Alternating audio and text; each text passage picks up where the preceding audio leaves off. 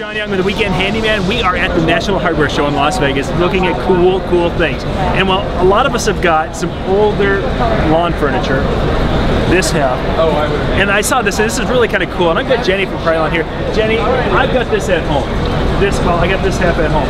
And I'm seeing that you guys can, wow, that looks awesome. What does it, what, what did you guys do to get to this? Sure.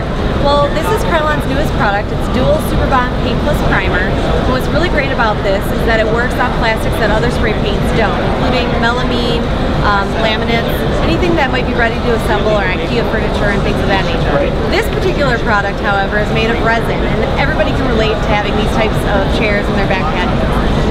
So what you have to do with this, there's no sanding required, no um, priming required. You just make sure you have a clean surface and spray it down and you get this nice finished look.